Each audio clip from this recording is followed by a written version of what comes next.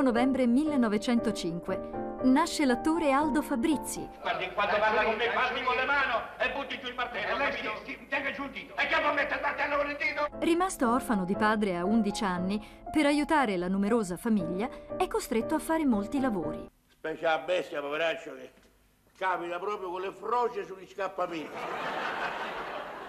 e quando si riempie delle casse di scarico, poveraccio diventa più pericoloso della bombola di gas.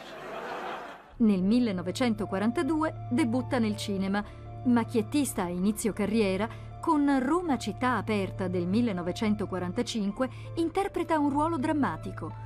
Vincitore di vari premi, Fabrizi è anche sceneggiatore e regista. Lulu, oh, e che manca?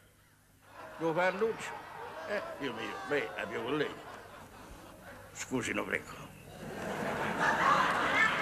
Lolo, tu non mi ami più.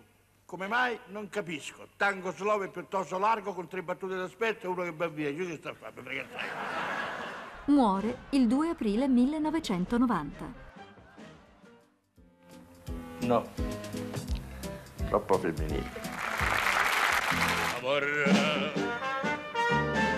mio grande tesoro, per te soffri.